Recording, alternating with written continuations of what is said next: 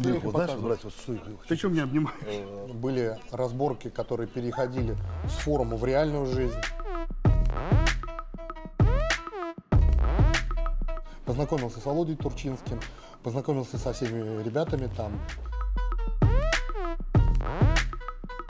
Фил Хит, например. Фил Хит не- неприятный человек. Почему? Он же улыбается, симпатично. да? Да, он такой позитивный, кажется. Я, в главном, в судейском пиджаке. Это в фойе, все это видят. Подходит, бьет мне в лицо, получает в ответ, падает. Алло, Нелька, привет. Привет, дорогая, как ты? Да, привет. Вообще, когда он появился, честно говоря, это тайна такая, знаешь. Он, он- мальчик появился из ниоткуда, блядь, и стал таким этим уже крутым судьей. Ламборджини тебе принесли. Правильно, Ламборгини. Ламборгини, правильно? Ферручи, он бы на тебя обиделся. Ферручи Ламборгини. Если бы была возможность изменить эту ситуацию, вот у меня, я бы лучше бы стал ниже, чем выше. Вот я тебе клянусь. Ну, я изначально, проторговываешь? изначально сформировал Сформировал. Фар- Сформировал. Друзья, минутку вашего внимания. Музыкальная пауза. Мы открываем первый в мире спортивный маркетплейс. Называется он sportmarket.info.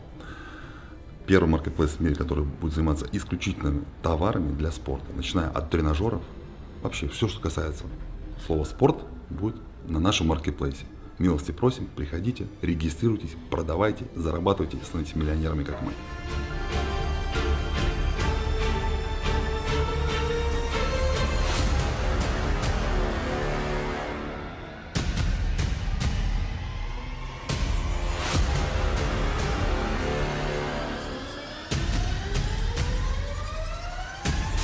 Друзья, вас приветствует Железный мир снова, снова и снова. Надеюсь, вы подписаны на наш канал давно и будете наслаждаться новым интервью. А у нас сегодня в гостях олдскульный герой, известнейший атлет Андрей Попов. Как-то ты весело меня представил. Андрюх, у тебя все время да, по поводу харизмы такие интересные, эпатажные, веселые и угарные произволочки на сцене. В них, мне кажется, как бы живет душа, и ты весь в них. Как приходят мысли в голову вот, сделать ту или иную произвол? Как, как это все происходит? Как в процессе? А, дело в том, что в последнее время немножко энтузиазм у меня поугас.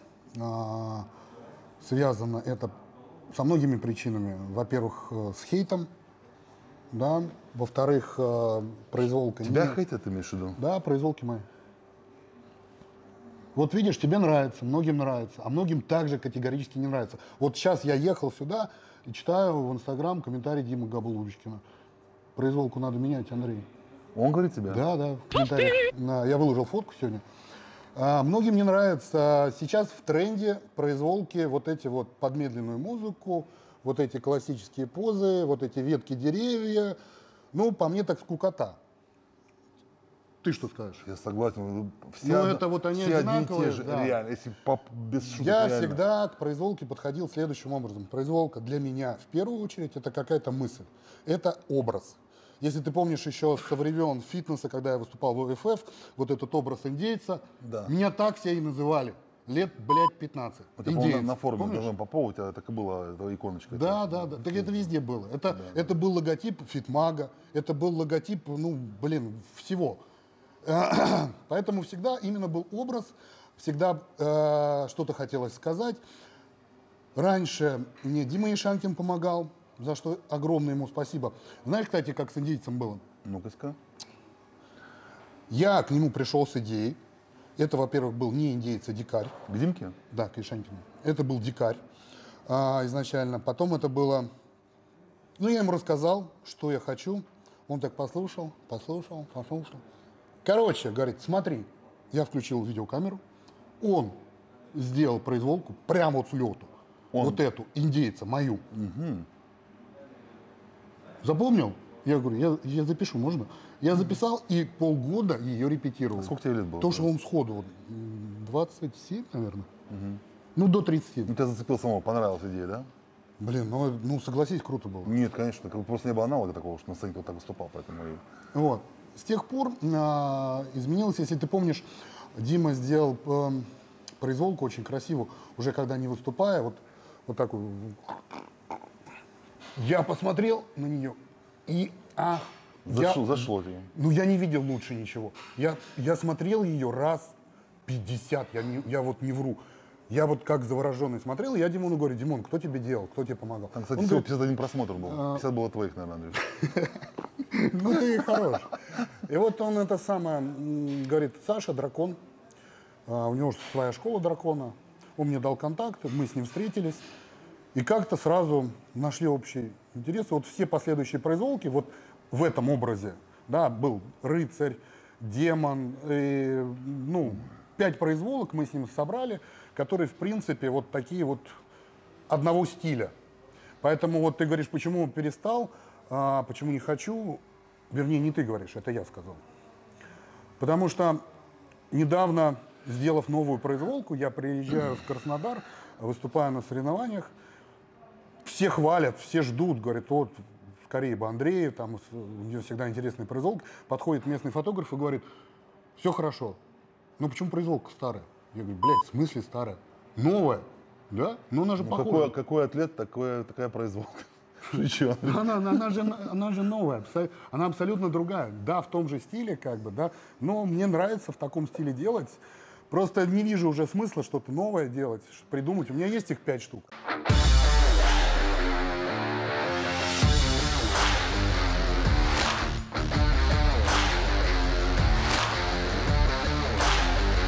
Твое тело достойно лучшего. Одежда Power Inside на wildberries.ru Кстати, положительных реакций гораздо же больше. Ну, что обращать на внимание на эти там 10-15%? Ну, э, Дим, человек так устроен, все равно я обращаю внимание и на положительное. не- Я помню, вот когда вот, а, вот это вот сделал вот, м, демона, вот этого, где вот так вот идут, там всех разрываю, а, или это рыцарь был, не помню. За кулисами ко мне подходит Юра Леонов и говорит, Андрей, это что-то Невероятно. Я, я, я, говорит, я, у меня мурашки по телу. Всю твою произволку были. Это был беталанин просто. Вот э, такая реакция тоже, и многие так считают. А, опять же, я просто не буду меняться и не хочу. Я не буду сейчас вот в этом тренде, я не буду делать то, что нужно всем. То, что все, да, то, что все хотят, вот это вот видеть, под медленную музыку, позы классического бодибилдинга, вот это все, я делать не буду. Мне это, мне это скучно. А, сейчас же, ты знаешь, ввели э, приз за лучшую произвольную программу, денежный. Опять же, выигрывают вот именно такие произволки в основном, медленные, красивые, но мне это скучно, я бы не хотел. Андрюх, ну вот так, видишь, как получается, прош- прошли какие-то годы, времена. Было время, когда ты брал интервью веселый, задорный у Димки Голубочкина, вообще там и по Старевым ходил, теперь берем интервью. Ты, по сути, был, наверное, единственным таким блогером, когда еще такого блогерства, ютубства не было практически. И в принципе не было э, слова блогер, не было Ютуба. Ютуб, вернее, был, но если э, Сережа помнит, там были видео, которые 15 минут. Поэтому мне приходилось интервью резать на 2-3 части выкладывать. Интервью с Димой Голубочкиным. Первая часть, вторая, третья. А, Я был первым, и, честно говоря, мне а, почему пришло это в голову? Во-первых, потому что никто этого не делал. А, У меня родилась идея сделать серию интервью, которая называлась «Московская битва» с нашими московскими атлетами. И там были все, ну, кто тогда выступал, Дима Каракаш, э, Митюшин, Леонов, э, Леня Истомин, Марутик, ну, все, все. Даже тех, э, ну, люди, о которых вообще ничего не знали. Я попытался их как-то осветить, задавать какие-то вопросы. А, И потом, соответственно, был Дима Голубочкин. Это была бомба, разорвавшаяся. А, дело в том, что мы с Димой ездили на соревнования, я его знал как человека, знал как рассказчика. А, до, до меня кучу раз у него брали интервью, журналы, и все это было, ну, стандартно, обычно. И я попытался его раскрыть именно как харизматичного рассказчика, и это получилось, и это выстрелило. И я помню, что тогда не было ни монетизации на Ютубе, не было ничего. А, И, в принципе, не было, я уже говорю, блог, блог, э, слова блогер не было. 12 год, может, даже и раньше, и интервью набрало больше 300 тысяч просмотров. Ух, по тому времени серьезно заявка. Это, это не то, что... Это, не- как сейчас 3 ведущий. миллиона. Да, да, да. Это как сейчас 3 миллиона. Реально. Поэтому мне сейчас приятно, что... Почему я перестал этого делать? Потому что появились профессионалы. То же самое с фотографиями. Я купил себе дорогой фотоаппарат, зеркальный, по тем временам был очень О, круто. зеркалочка и с серьезная судейского столика снимал фотографии, выкладывал на форум. А, тогда были очень жаркие баталии на форуме. 800 страниц, не сообщений, страниц было. Ну, там вот, вот Просто форумы еще тогда жили, да? да, тогда был самый рассвет форумов. И тогда эти выкладываешь, выкладываешь фотографии. Появились фотографы, появились профессионалы, которые стали делать это профессионально, и мне это больше не нужно было делать. Я это делал, потому что это нужно было людям. Поэтому, когда пришли профессионалы, я просто ушел, сказал, слава богу, всем спасибо. И то же самое с блогерством, с интервью. Пришли люди, которые стали делать профессионально. Андрюх, слушай, вот э, не так давно мы интервьюировали Илюху Горошко. Так что ты скажешь, братья, по поводу вот этой истории с Олегом Макшанцем и вообще федерации, вот это новым президентом, вообще вот всей этой вот катавасии, которая сейчас происходит? Ну, я так понимаю, много откликов было, да? по Да, ну судя по тому, что как пишут на, в интервью, там э, внизу на- под ютубом, там э, всяким там комментам, я понимаю, что там жаркая дискуссия разгорается. По. Олегу именно? И по Олегу, и по, по судьям некоторым ФББ. Это мы сейчас продолжим в продолжении разговора.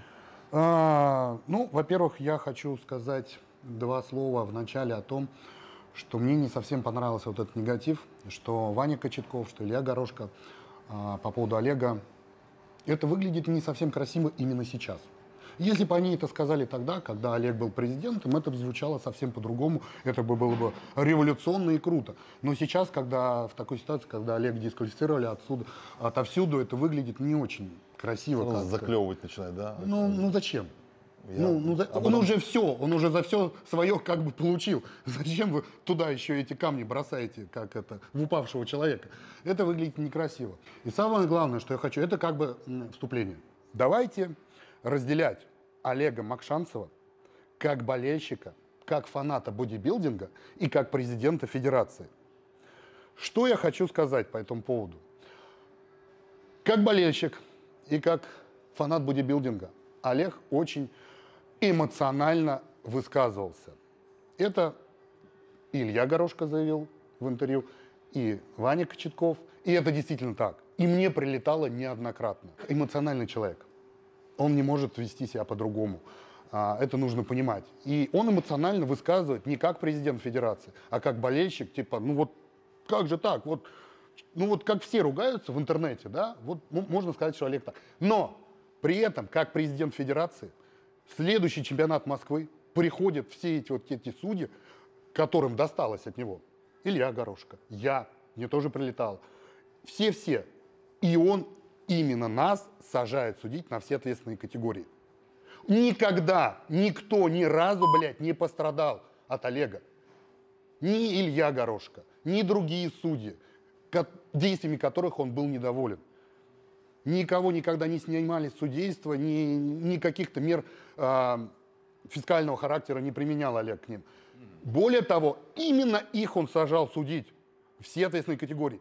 Всегда, всю жизнь, когда Олег был президентом федерации, именно он формировал судейскую бригаду на бодибилдинг. Никогда он не доверял никому другому это делать. И он понимал, что наше мнение принципиальных, не зависящих ни от чьего мнения, в том числе и от мнения Олега, именно таких людей он сажал судить, как президент федерации. Не как болельщик, а как президент федерации.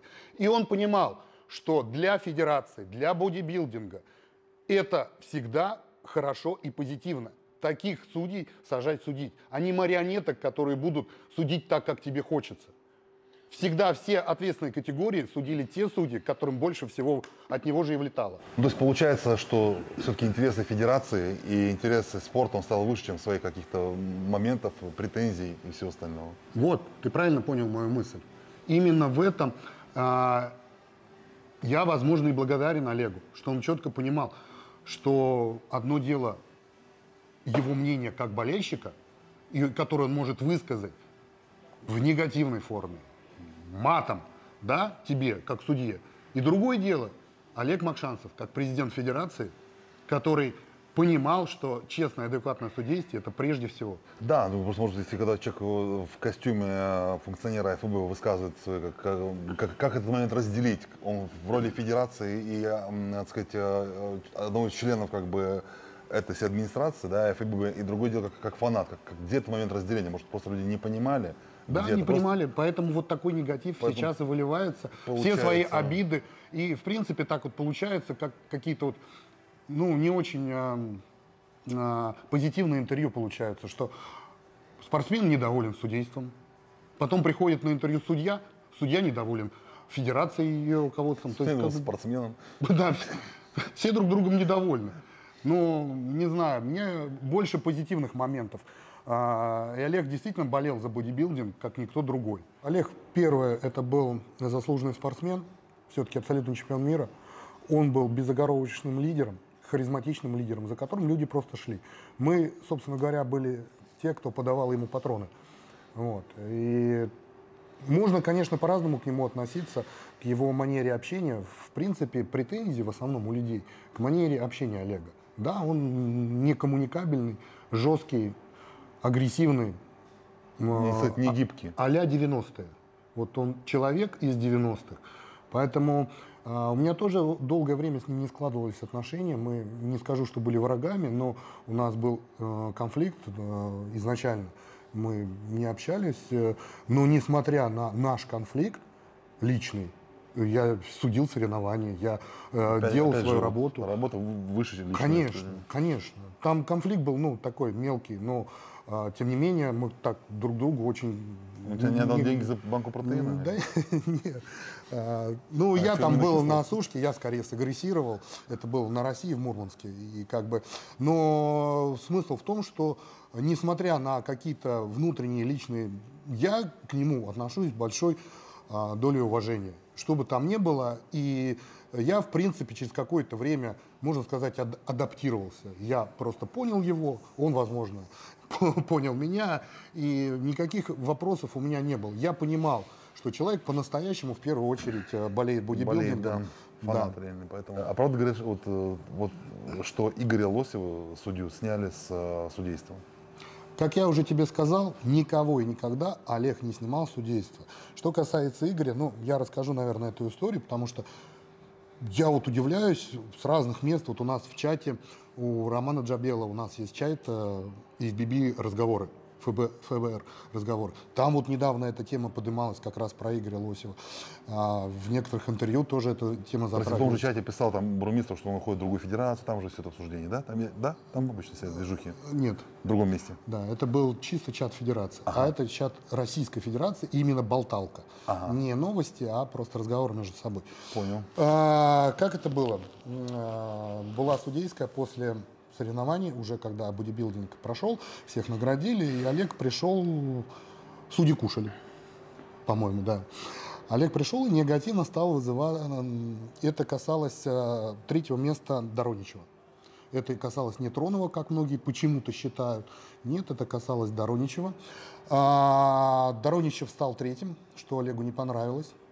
А он по факту был там третьим. Я, к примеру, его третьим и ставил. Но некоторые судьи ставили его пятым. Пятым. Доронич? Дороничем. И одним из этих людей был э, Игорь Лосев. Таких судей было двое. И Олег в свойственной ему манере высказал свое недовольство Игорю. Мягко и нежно. Да. Игорь, естественно, как любой нормальный человек, Эмоционировал. да, и просто больше не приходил судить. То есть это не было каким-то приказом оформлено, не было. Просто Игорь сам перестал. Рабочий момент принял на личный счет.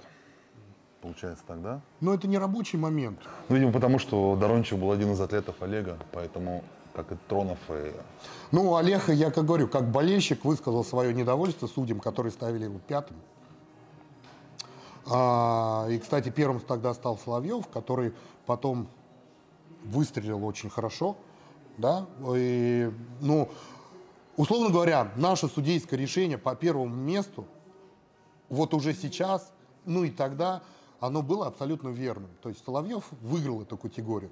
То, что Олег был недоволен, то, что Доронич стал третьим, ну, его можно понять как болельщика, и вот это его спортсмен, естественно, взгляд немного замылен, А, поэтому он высказал свое недовольствие и высказал слишком эмоционально, что затронуло нашего лучшего спортсмена, лучшего по титулам, по званиям, Между прочим, если ты не в курсе, Игорь Лосев единственный у нас в Москве заслуженный мастер спорта. Не международного класса, а заслуженный мастер спорта. Именно по бодибилдингу. Дима Ешанькин, он классика и фитнес, а именно по бодибилдингу у нас больше нет заслуженных мастеров спорта. И было, в принципе, обидно Игоря терять из тусовки. А, Мы с ним а, дружим, мы тогда дружили и ездили вместе на соревнования, жили рядом, тренировались в одном клубе, дружили с семьями. С Игорем мы ездили отдыхать э, с семьями. Ну, то есть э, человек близкий мне. Я перенес это достаточно болезненно. Может, ты поговорил бы с ним, чтобы он не обижался как-то, чтобы понял, как бы, что ну, Олег такой вот, такой угловатый и вот такой ну, типаж у него. Может, не стоило так вот не приходить больше, тем более, сразу заслуженный. Это что, так, динозавр, можно сказать, это с с той эры еще. Ну, слушай, лезть в такие отношения, Не стал ну, ты? за, зачем? Ну, Помирить немножко это как-то что-то, потому что на тестостероне люди многие, ну понимаешь, на сушке я знаю, какой ты, как бы, какой ты будешь обычно. я тебя, блядь, Вот. Я поэтому ракушку одеваю перед это. Слушай, Андрюх, ну смотри, а, ты общался с многими звездами а, из США, там, ну, там, ведущие звезды мира с- бодибилдинга. Ты был там, да, а, на Олимпии, они в Москву приезжали. Ну, по общению с ними, какие они, какие они реальные, как бы? Кто-то же, наверное, более такой покладистый, а кто-то такой головником. Ну, слушай, как везде, есть позитивные люди, есть негативные, есть хорошие, есть плохие. А, из личного общения, да, когда вот не подходишь с камерой, а просто подходишь пообщаться. Ну, самое негативное, допустим, на меня произвел впечатление Шон Рэй. А, представляешь, ну вот ситуация, допустим, а, Олимпия, пресс-конференция. Мы выходим, я вижу, Шон Рэй сидит на лавочке, ждет там такси или машину, не знаю, с кем-то общается. Я хочу с ним сфотографироваться. Стою, жду, пока он поговорит с человеком, не мешаю ему. Он закончил общаться, я подхожу, maybe фото, но он делает вид, что меня не существует. То есть он просто сидит, смотрит в точку, не обращает на меня внимания, как будто я какая- Эй, Шон! какая-то муха назойливая. Я такой, знаешь, типа, окей, окей. Языковой барьер сыграл или по-английски было? По-английски я его спросил. Ну, maybe фото, знаешь, это сложно не понять. Да, все просто понятно. Вот. И, меня удивило не этот момент. На следующий день мы стоим в баре. Я, Олег Макшанцев и Дориан. Общаемся. Дориан вот такой мужик. А, Олег с ним обсуждает а, бизнес-дела. Он завозил его питание, если ты помнишь. Они, они, они дружат. Проходит Шон Рэй, видит это, видит, что как бы Движ. Дориан, да, ребята с ним. Улыбка такой. Hello, hello.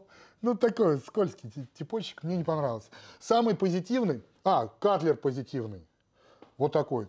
А, Бренч все время такой, ну, я вот не увидел, что Бренч улыбался. Я Все много- суровое, да, тоже, да. Такого вот, тоже как вот на фотках, он так- всегда такой суровый, сосредоточенный. А, Декстер такое ощущение, что немного устал всегда. Сколько я видел, он такой Недосып, наверное. уставший, да. А, человек такой, в принципе, не, не, не могу ничего сказать там плохого, хорошего. Самый охрененный – это Вольф.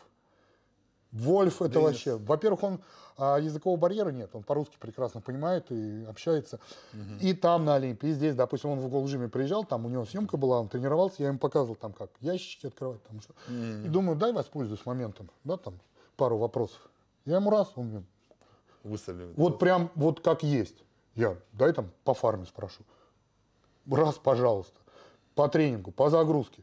То есть он переодевается и мне отвечает, блядь, вот прям как нужно. Знаешь, я там, допустим, вот, а, я просто знаю, он сначала в Нутриксе был. И Нутрикс очень много в денег в него вложил. а, вложил в плане медийности. Он стал медийным в Нутриксе. В каждом журнале выходили его фотки постоянно. Потом он перешел в, Би- в BSN. Да? И я говорю, Денис, вот я знаю, что сейчас многие не платят деньги спортсменам.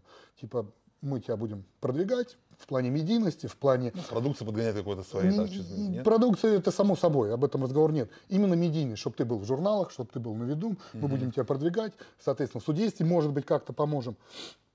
Я говорю, вот у Nutrix как было? То есть э, там было много спортсменов, насколько я слышал. Ну вот, допустим, Лабрада не платит денег своим атлетам, насколько я знаю. Рич Гаспари не платит. Они вот питанием, медийностью, продвижением. Он такой, мне Nutrix платил. Я говорю, ну а BSN как? BSN шаг вперед для меня. Ну, то есть он все по делу отвечал. То есть были вопросы, на которые я мог проверить его, да, как бы. А, на Олимпии стоит огромная очередь к нему за автографом, сфотографироваться. Я просто по- прохожу рядом. Денис, привет. Он, О! Узнал Узнал. тебя, Андрюха, да? Да, раз, подходи. То есть мы с ним стоим, общаемся. Очередь стоит, ждет спокойно. Ну, типа, друг, наверное, какой-то. Мы, мы с ним общаемся, он там что-то спрашивает. Я, я у него что-то спрашиваю. Контактный такой, да? Очень контактный, простой, ну вот, очень мне понравился. Про кого тебе еще ответить? Ближе к народу. Ну, Фил Хит, например. Фил Хит не- неприятный человек. Почему? Может, улыбается, симпатичная улыбка. Да, он такой позитивный, кажется. Ты знаешь, вот а, а, мы с тобой разговаривали про Олимпию, да, а, что там на первом ряду я сидел. У меня еще тогда был супер вип пакет. А, я был на банкете с олимпийцами. Вот после Олимпии на банкете. Когда проиграл Кай Грин, он плакал. в Реально? банкете, да, реально плакал. То есть я говорю, да не, братан, ты первый был, не, не вопрос. был арбуз там, мы мы сидели с этим самым, э, с Робертом Петковичем, Петраковичем. Понял? Он тоже по-русски более-менее. Жена у него вообще по-русски шпарит.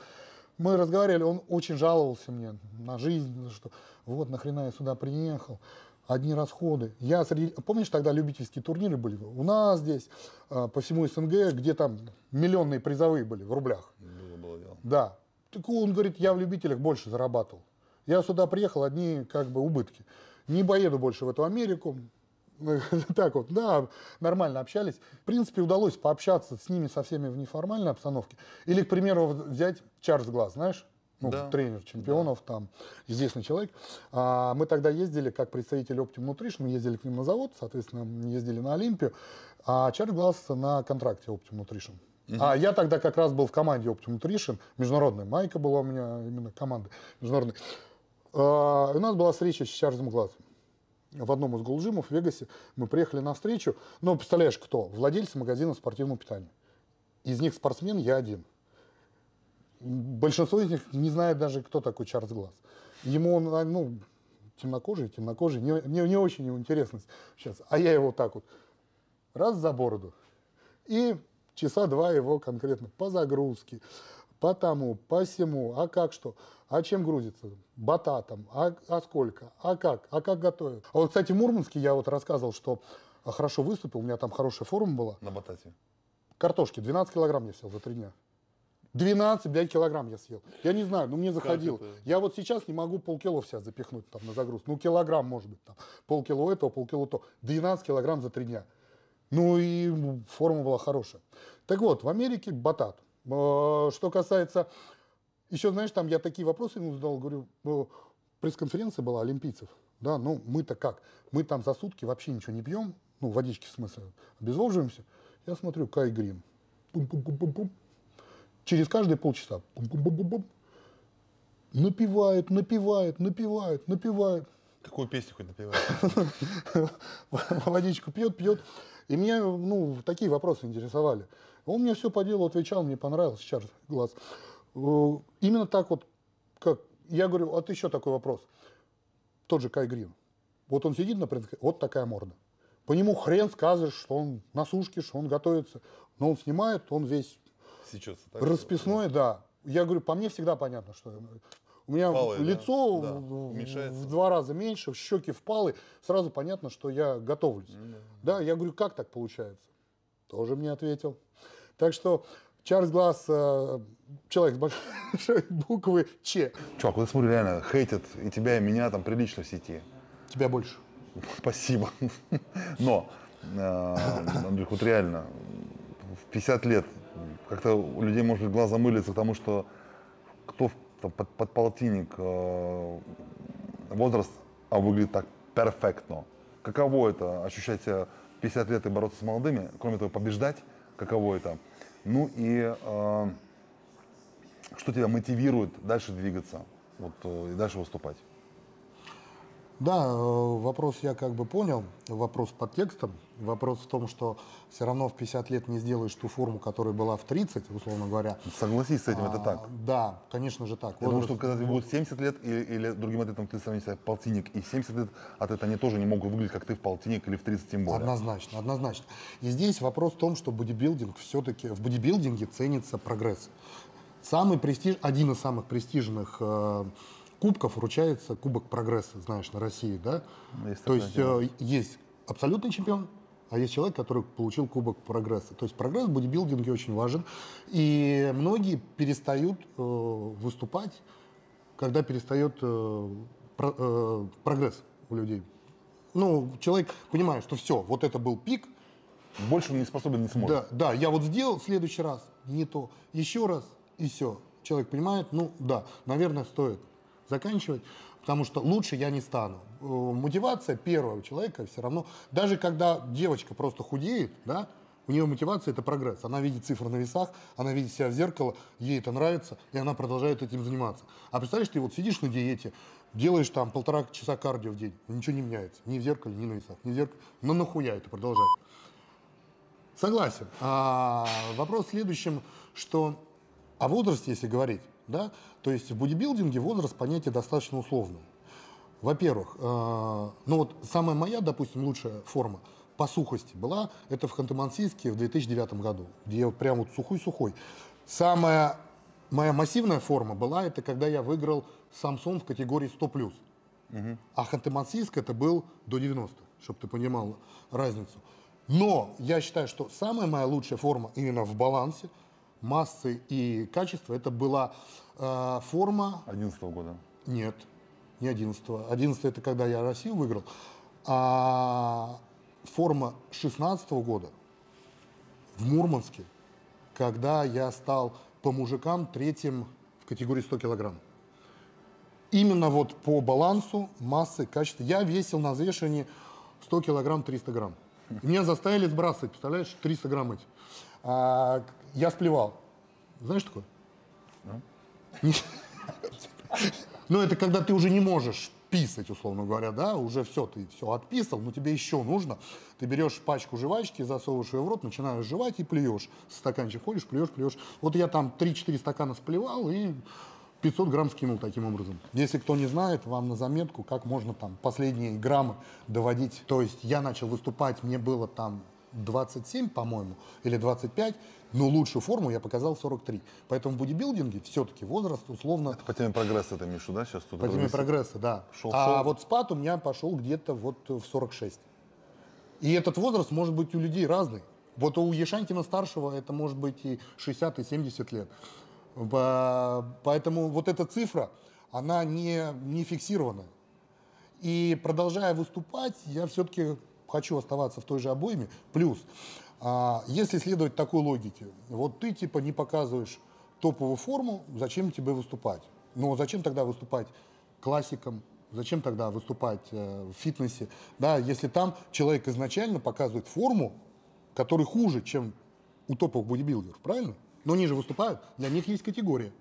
Так и же для нас есть категория 40 плюс, 50 плюс, 60 плюс. И в рамках этой категории я еще вполне себе, Ой-ой. да, огонь. Ну, слушай, ну вот, э, в принципе, многие атлеты известные как бы завершают свою карьеру как бодибилдеров где-то в 50 лет плюс-минус. Ты также пытался, я знаю, там, участвовать в международных соревнованиях различного уровня. И все-таки в, своей категории именно возрастной, там, 50 плюс. Если у тебя, ты ставишь перед собой такие задачи, выиграть международные соревнования? Мир Мне там, не понравилось слово «пытался». по- у тебя это удалось. пытался выступать на международных стартах. Я начинал это делать в 2013 году. То есть 10 лет я каждый год ездил на международные старты. Европа, мир, иногда два турнира в год международных, и Европа, и мир. Мои ру- лучшие результаты э, на мире 1 четвертое, 2 пятых, Европа 2 третьих, Арнольд Классик, э, чемпион э, европейского Арнольда, и второе место Арнольд Классик ЮАР.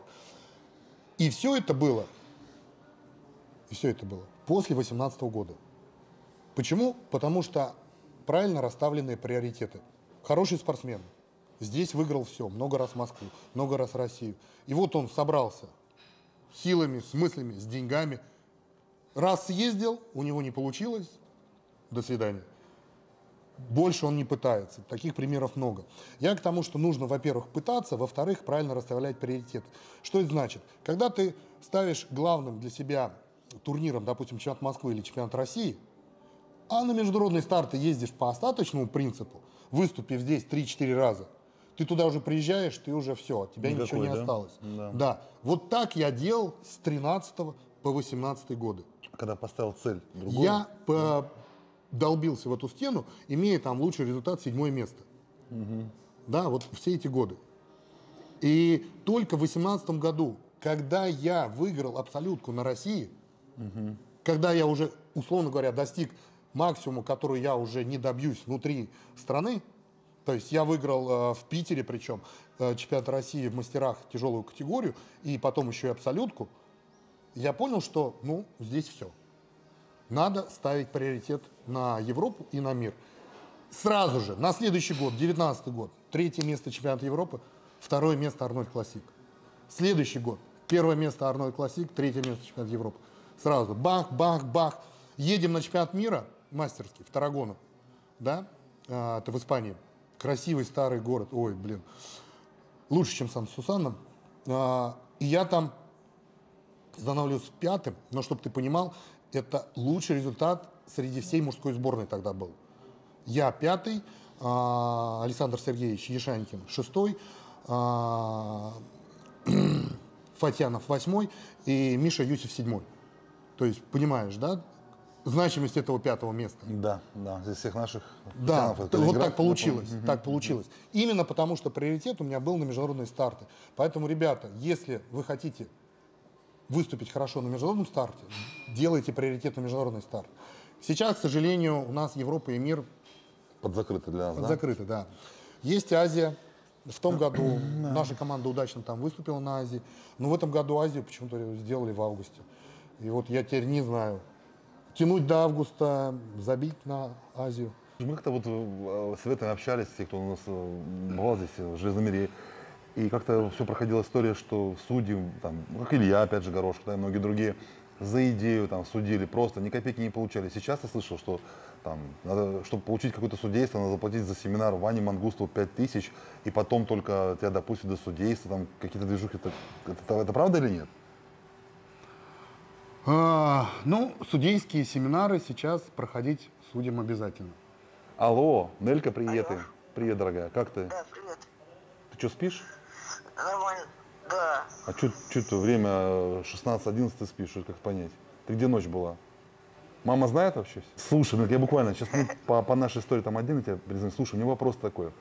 Хотел по поводу Вани Мангуста задать. Слушай, а просто когда он просто выводил, на Ростомере стоял, выводил иногда девчонок, ребят там на сцену. А сейчас просто нужно какие-то семинары проходить, ему платить деньги. какая-то- ну, короче, какая-то такая история. Выясняем правду. Вот Железный мир хочет знать правду, как оно есть на самом деле. Железный мир пусть качается. Правду он хочет. Вообще, когда он появился, честно говоря, это тайна такая, знаешь. Он, по-моему, мальчик появился из ниоткуда, блядь, и стал таким этим уже крутым судьей. Вот это непонятно. То есть он, Не, ну, понятно. ты понимаешь, что вот эта логика какая? Ты всю жизнь судила, да, сколько ты уже, да, ты профи реально, почти, вот, как и многие ребята. А теперь нужно платить за семинар 5000, чтобы ты была судьей, когда ты и так уже отсудила столько времени, как и многие другие. Что за прикол? Как такое вообще может быть? Блин, ну смотри, он же ездил там, за границу обучался. Он э, к этому. Ага, вот, интересно. ездит на турнир, да, на любой там, на международный, именно FBB. да. Так. Если хочет стать судьей, он проходит там обучение, там, все, если деньги платят, и все, тебе корочку дают, и тоже судья. Вот и все, вот так су- судейские корочки делаются за границей для наших. Ну и для ихних тоже так же. Все, все просто. Для Только мы не можем, сколько судей, не можем корочки судьи получить, охереть. Вы не можете получить здесь? Там случайно не... Конечно, у многих судей, судей нет корочки до сих пор. Понял, Нелькин. Ладно, спасибо тебе за информацию. Просто были вот эти вопросы. Ты, Мат, э, знаю я вот эти вот подвохи, ты звонишь и куда-то там снимаешь. Да, мы сейчас с Андрюхой Поповой снимаемся, на самом деле, м, снимаем здесь «Железный мир», как бы это новый выпуск. И затронули эту тему. И, честно говоря, вот некоторые новости, я тоже удивлен просто, как, как можно те, кто судит, блин, уже по, по десяткам лет, грубо говоря, проходить за новый семинар. Вот в, в чем нонсенс, понимаешь? Хотя и так Ну да, есть... оплачивали, и он все купил, все нормально. А, Всё понятно. чётко.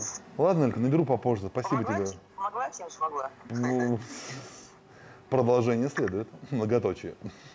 Всё. Ладно, спасибо Хорошо, тебе. удачного эфира. Давай взаимно. Пока. Пока. Часто бывают э, такие истории, когда атлеты присылают там фотки, вот Димон, посмотри, вот я же явно, вот, вот, вот три, троица, я явно первый, а не третий, не второй, понимаешь? И вот что засудили. А бывают такие истории, когда наоборот, ну, атлеты явно выше ставят того, чем он как бы э, заслуживает. Как ты считаешь, были ли в твоей карьере такая, такие истории, и как ты к этому относишься? Дим, ну, конечно, я выступаю давно, со мной были всякие случаи, в том числе и такие.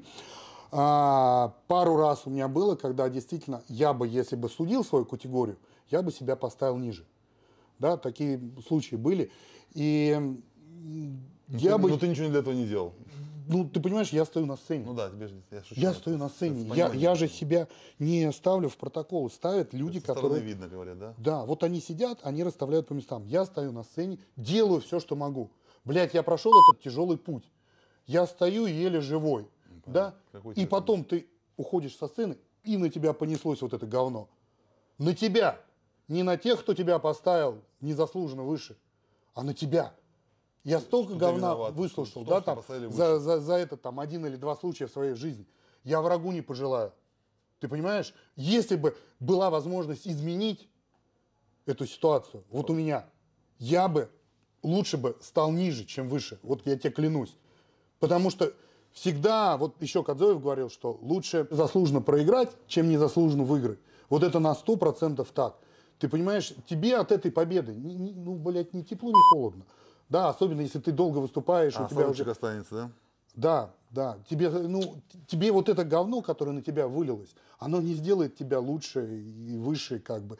Но при этом ты, главное, в этом не виноват. Ты вот стоишь, ты прошел этот путь тяжелый и длинный. И получается, что победил, как бы должен радоваться, а на тебя вот это все вот на тебе, на тебе, на тебе. В чем твоя вина? И э, я бы вот честно говорю ребятам, которые пытаются, знаешь, там, мо- может, да, да, договориться или что-то. Ребят, ну, нет, э, это не принесет вам удовольствия такая победа. Ну, Вот хорошо, ты старая школа, как бы, из тех, кто, да, сука, и выступал, и судил. А сейчас судим.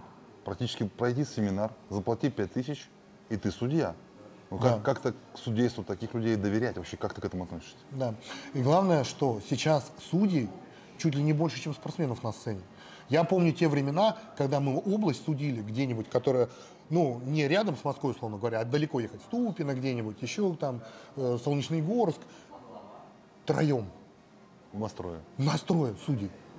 С утра побольше, но к концу дня все рассасываются. Да. И мы трое. Вот ты сидишь, и ты понимаешь, что вот как ты сейчас поставишь, то есть ответственность твоя настолько сильно возрастает, что Ты когда не 9 максимально корректно быть и честно да, правдив. Да, да, да. Я помню вот такие... Тем более, когда твой атлет, и ты его пиаришь. не, не, не, не мой атлет, а, к примеру, твой знакомый и какой-нибудь уважаемый атлет. У меня была такой ситуация, такая ситуация на области. Серега Родин и Александр Сергеевич Ешанькин. И вот там вот этот баланс. Абсолютка, да? В, э, не, в категории. Или в, Крас, э, в- блин, в Краснодаре. В Калининграде мы судили. Мой друг Леха Бекер, Да? и, да, и другой спортсмен, который суши его. И вот тоже Личное. личное, да. Вот, И- и, всегда я, допустим, к своим знакомым и друзьям более критично отношусь. Даже, даже не лояльно, наоборот, критично. Да. Я, не быть- я, я прям вот рассматриваю все нюансы.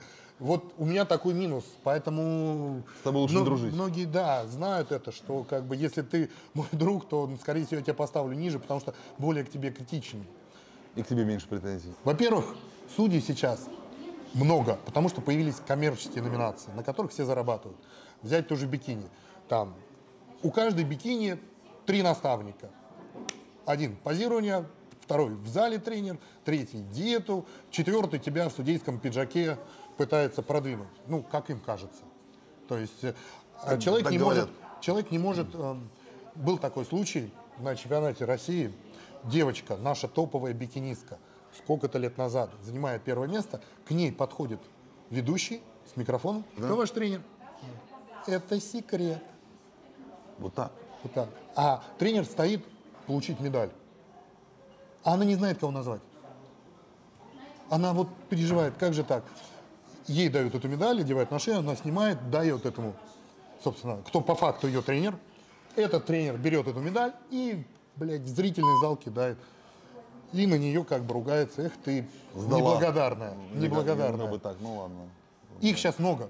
А, а, есть интерес у судей идти судить. Понятно. Опять же, ты вот про семинар спрашивал.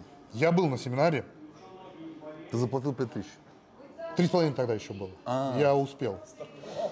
Торговался. Вот. Прослушал.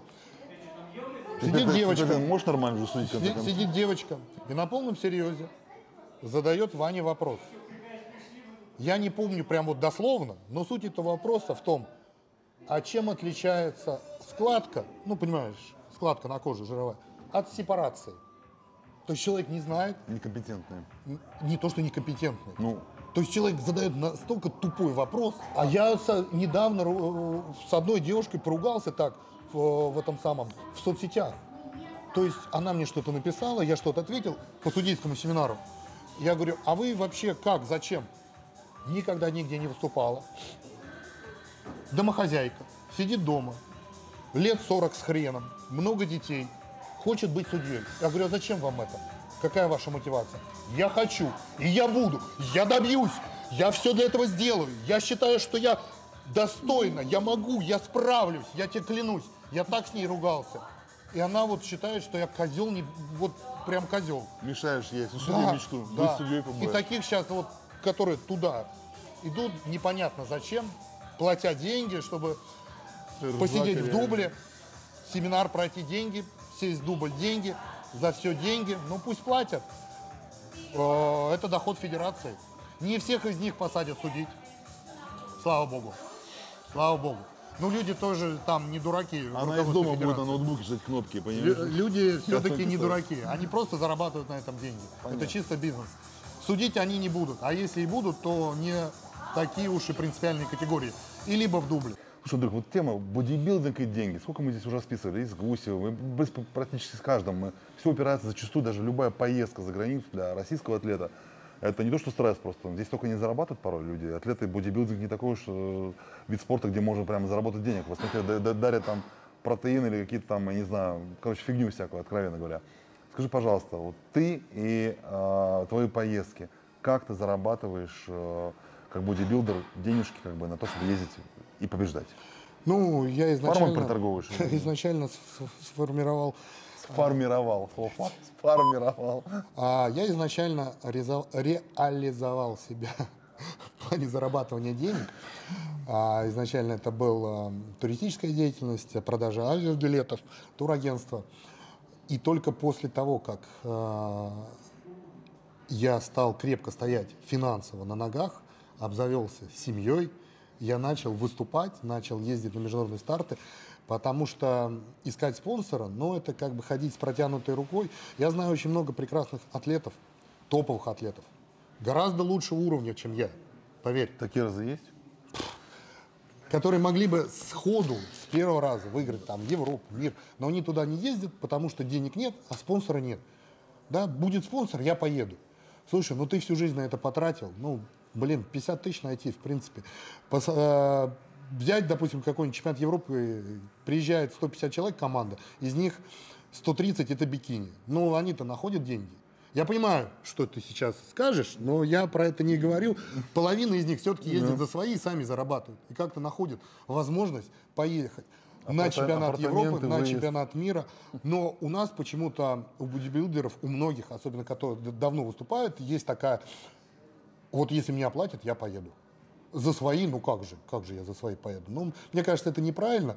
И когда ты уже сам финансово хорошо стоишь на ногах, и ты можешь себе это позволить, и подготовку, и поездку, тогда и результат, наверное, будет. Андрей, просто мы с тобой в Москве живем, здесь все крутится. Областные ребята, Ну, это да, пойми, да. там ну, и зарплата, уровень жизни, елы палы В пятерочке где-нибудь в Новороссийске зарабатывать 18 тысяч зарплата, пойми. Поэтому, ты, ну, короче, ты сам, Сусам, ты сам пытался зарабатывать всегда.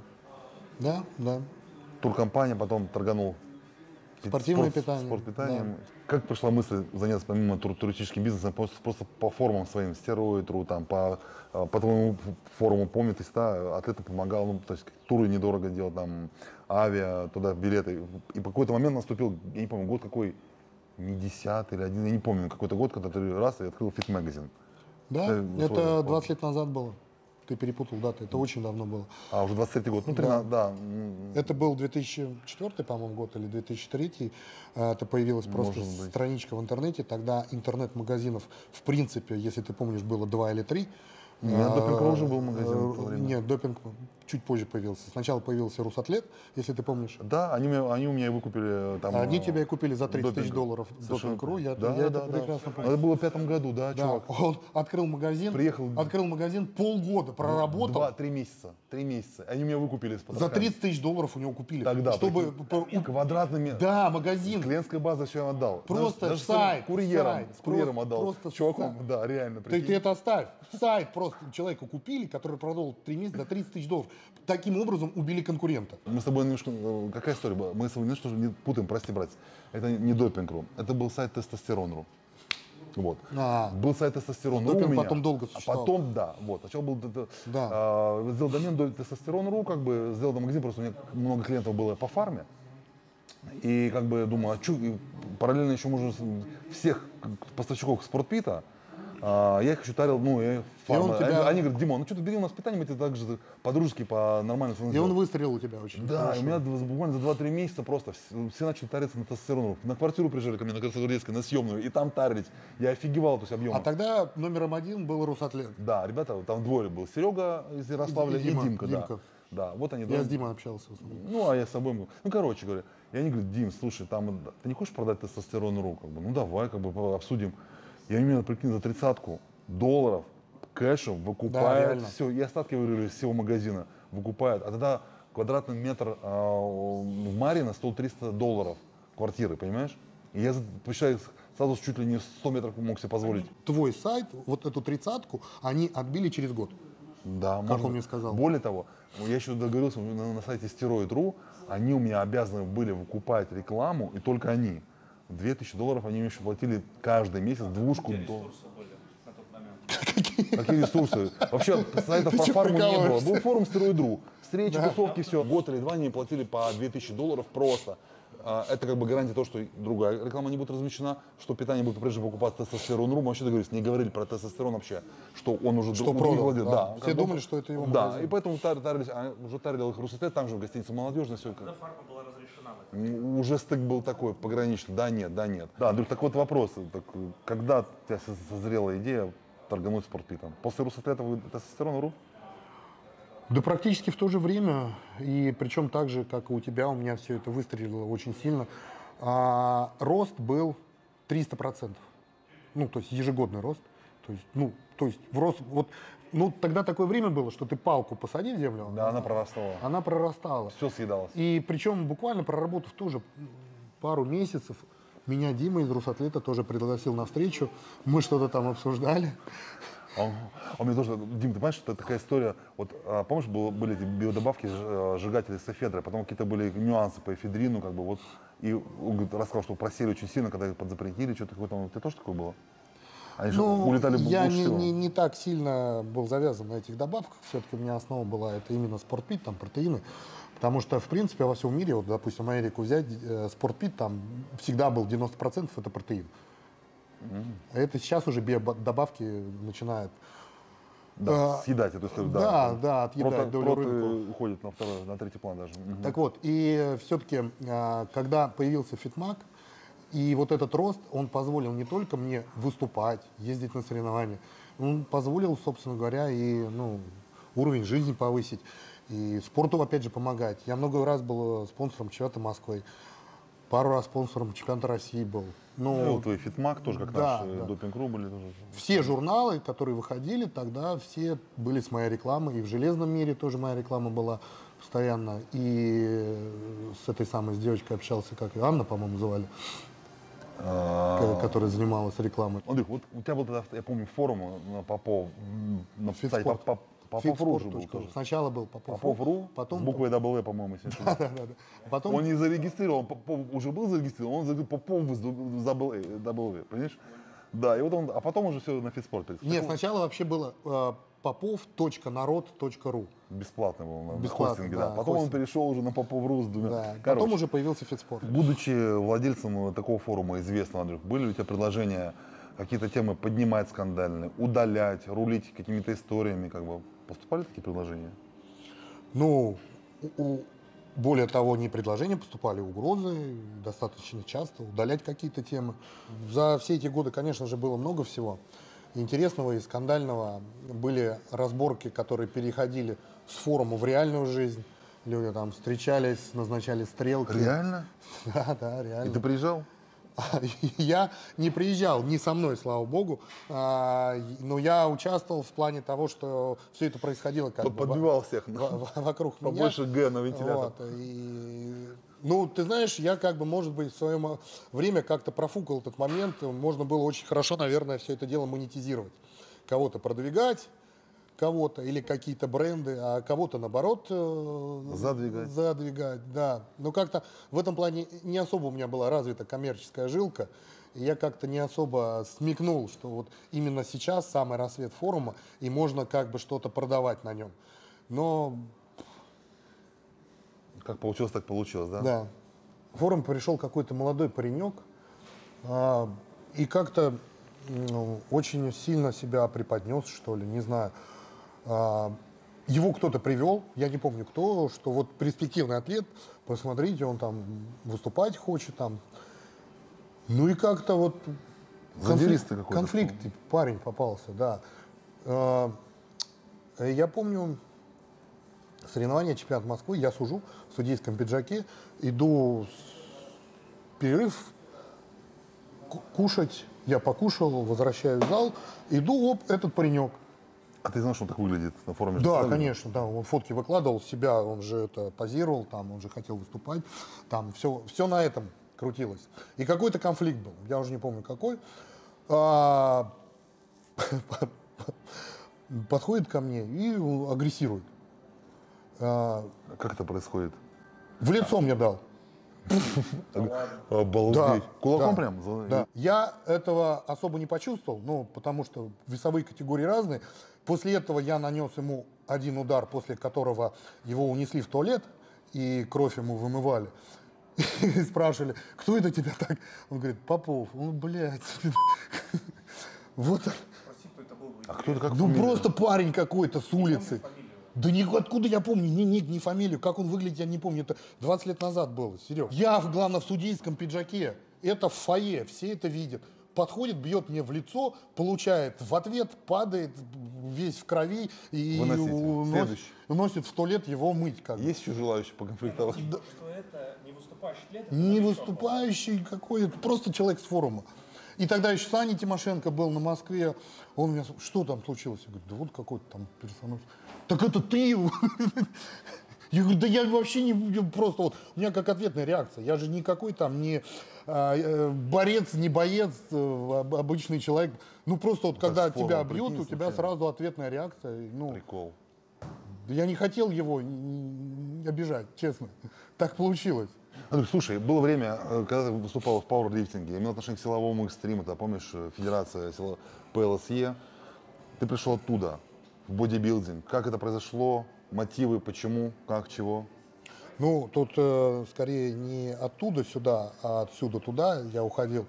А, в принципе, с чего все началось? Началось все с пауэрлифтинга.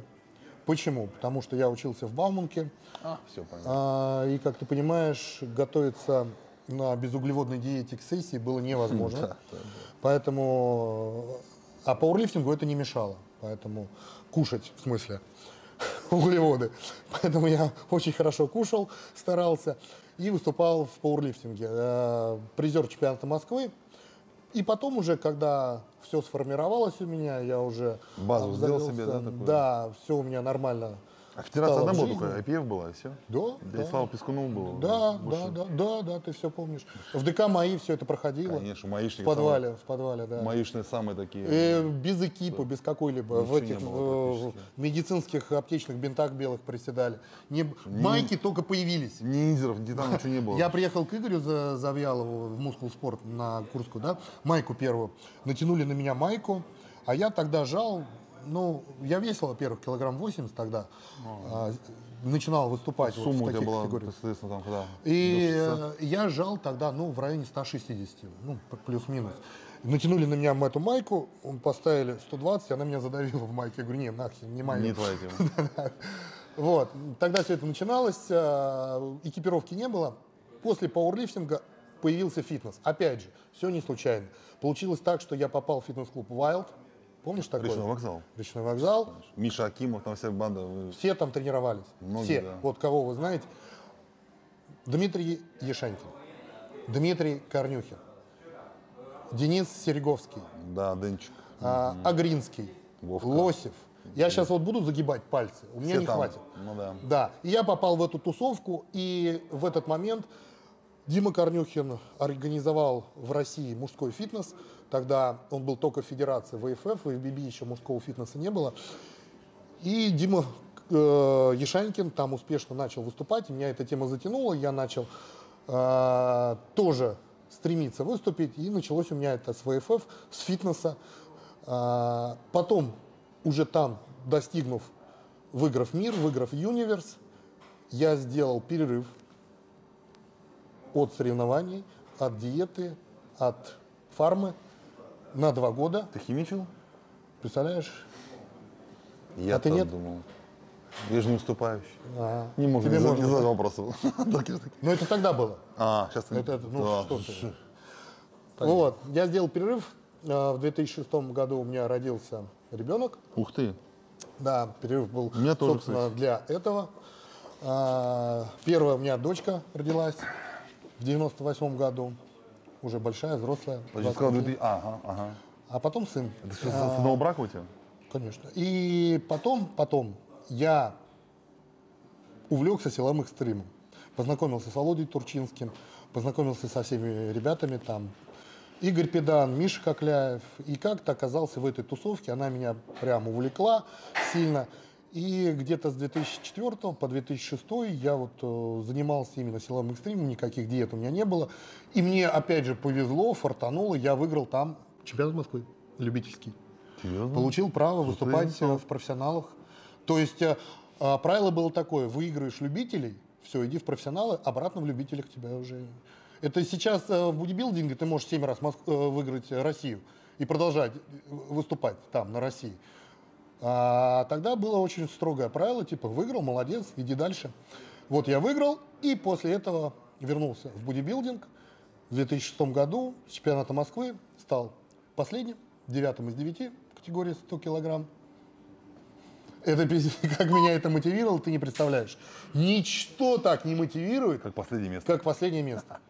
Блять, я так расстроился, ты не представляешь. Ну, последний. Ну, актуально было? Последний, Ну, ты- девятый из девяти. Форма была актуальна Ну, такая? слушай, ну там, может, шестой, седьмой, ну, ну вот прям вот девять человек стоит на сцене, а я чемпион мира по фитнесу, мистер фитнес юниверс, чем- чемпион Москвы по Девять, даже, даже пауэрлифтингу. настроения не вызывая. Просто А мне пинка под зад. И потом уже на следующий год я вошел в шестерку, через год вошел в призы, и потом вот так в призах всю жизнь как бы и Не выходил из них. не выходил из них.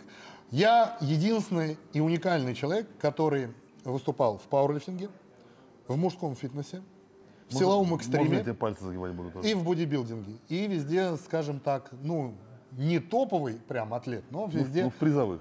в призовых и достаточно успешно. Слушай, вот я помню, как бы Дима Ишанкин э, как-то на съемках э, одного там шоу высказывался так, что, ребята, я очень благодарен вообще за все бодибилдингу в своей жизни. А вот, для, для меня, ну, как бы это такая позитивная история. Многие приходят и выплескивают свой негатив. Это не то, то не то и прочее. Конечно, надо больше позитива давать, ведь спорт. Да. В этом положительные эмоции в целом. Слушай, но я с тобой согласен. Я хочу дополнить тем, что а, создается у людей, которые не связаны с бодибилдингом. Вот случайно он там перещелкал каналы в Ютубе, ему там вылезло в рекомендованных какое-то, допустим, интервью, и он смотрит интервью, где спортсмен жалуется, как ему тяжело, как у него денег нет, как ему засудили, как ему вообще тяжело живется. Вот он вчера развелся, а до этого он год бухал.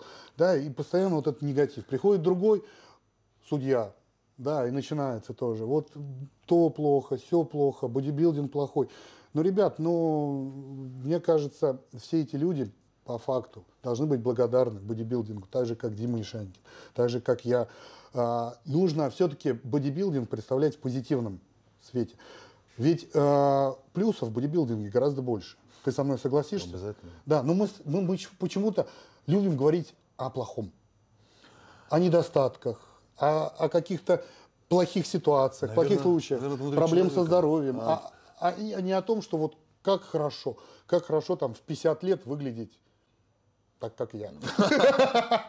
Слушай, а э, такая же история есть в психологии даже, что человек э, хорошую новость 10 человек только два перескажет, а плохую 8 человек.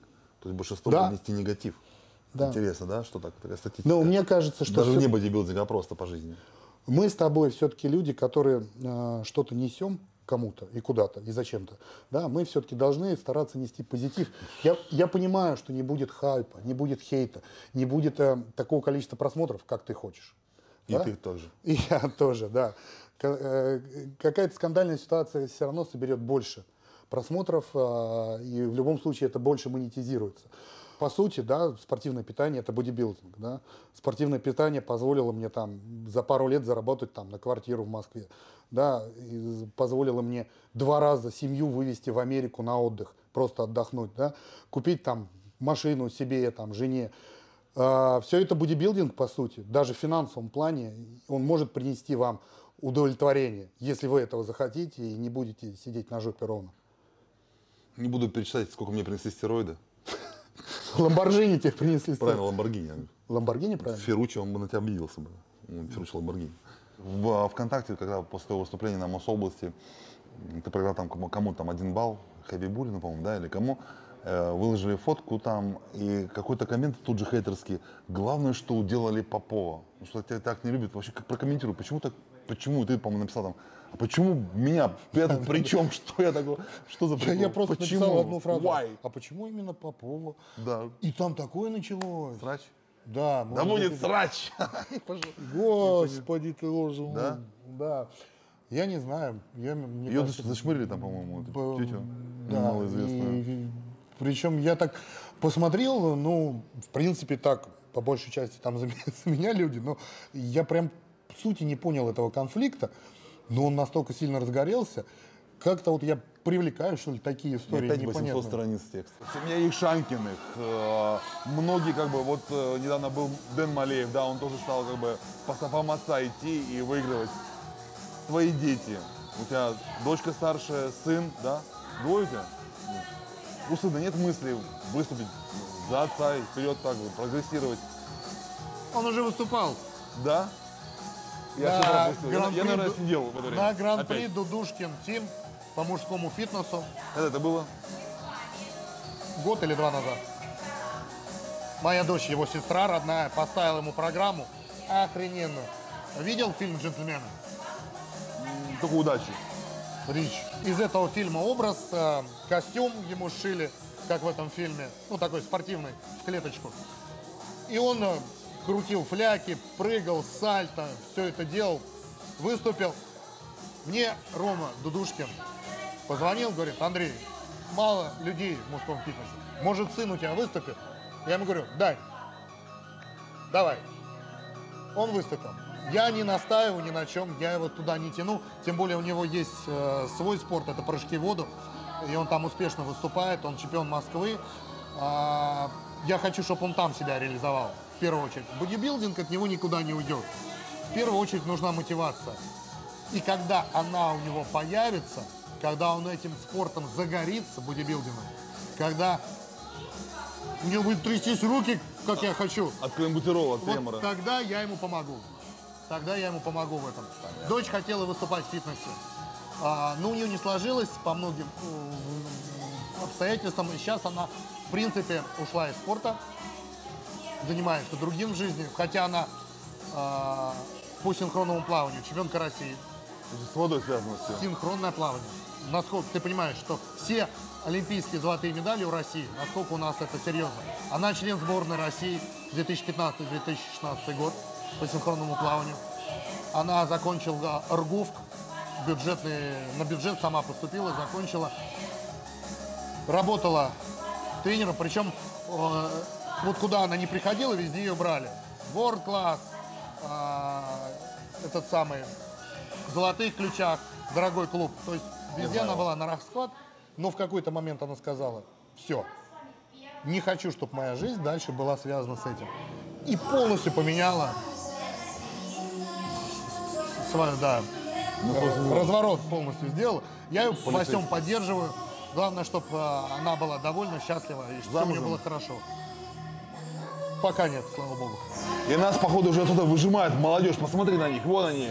Вон они едут, белики. Наверное, на- наверняка на эритропоэтине. Пойду допинг-контрольник брать сейчас. Друзья, спасибо, что посмотрели наш выпуск. Он оказался, на самом деле, очень неплохим, информативным, интересным. Подписывайтесь на «Железный мир». Еще раз в гостях был у нас Андрюха Попов.